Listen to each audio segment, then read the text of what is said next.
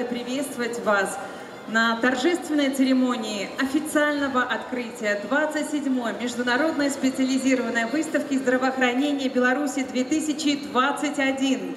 Сама необходимость выставки связана с тем, что ситуация настолько э, быстро меняется, мы должны отвечать на эти вызовы. Мы на пороге очередной модернизации системы здравоохранения на основе э, кооперации различных стран. У нас 150 э, павильонов в различных сферах медицины. 15 стран. Хорошая площадка для обсуждения именно тех проблем, которые мы должны решить сейчас. И что очень важно, я полагаю, что этот тренд выставки будет все более и более, он интересен не только специалистам, он интересен будет каждому из нас как пациенту.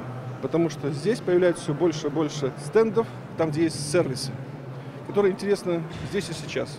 Сегодня мы предлагаем рассмотреть несколько новинок, э, актуальных в пандемию COVID-19. В частности, тренажер ухода за пожилым пациентом, так как это самая уязвимая э, группа э, в нынешней обстановке. Это сверхреалистичный манекен пожилого человека. Он очень мягкий на ощупь, абсолютно идентичный натуральному, как говорится. Все возрастные изменения отображены на коже.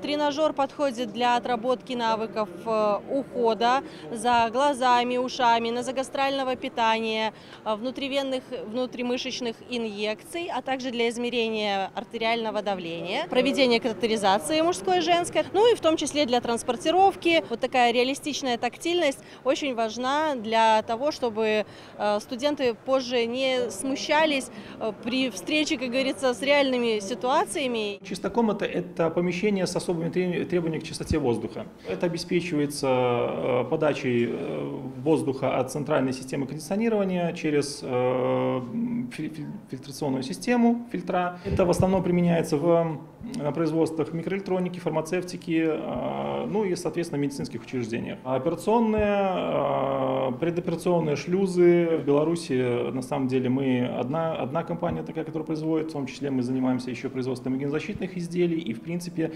научились, скажем так, совмещать ограждающие конструкции чистых помещений рентгензащиты, это применимо в, скажем так, рентгеноперационных, вот, которые сейчас наиболее такие актуальные. Сегодня мы представляем здесь наш проект «Мобильное приложение. Виртуальный ассистент для будущих состоявшихся родителей». Это такой помощник, который задает тебе вопросы, и в зависимости от того, как ты на них ответила, строит тебе повестку обучения, а в ближайшей перспективе еще и покупок, и в том числе каких-то дополнительных медицинских обследований. Допустим, мы выбираем э, «Жду малыша». Понятно, что мы говорим о том, что круто, здорово, поздравляем. Дальше маме пред, предлагается выбрать на первом этапе, пока только мы здесь, срок беременности, либо его рассчитать. Допустим, мы знаем и выбираем, что у нас 15 недель беременности, и исходя уже из этих данных идет первый этап рекомендаций рекомендаций. Человек может зайти и добавить э, поля, которые его mm-hmm. еще дополнительно волнуют. Также он может э, отдельно посмотреть контент по экспертам mm-hmm. и отдельно выбрать себе программу обучения, если mm-hmm. он хочет углубиться куда-либо. Детки приходят на обследование или им делают какие-то инъекции, они волнуются. Мы поможем тем, что они вот наденут очки, там есть такая специальная игра, и они таким образом отвлекаются и не переживают, и из-за этого их пульс не увеличивается. Но одновременно в этот момент стоит э, врач, обследует, осматривает, и он также может управлять ситуацией. Например, чтобы ребенок сделал вдох, да, и он не пугался, врач может включить там ему в очках появится такой же ребенок, который скажет, давайте поиграем в игру, да, давай кто там, кто сильнее вдохнет. И вот тогда ребенок делает этот вдох, что позволяет врачу, в принципе, все провести обследование.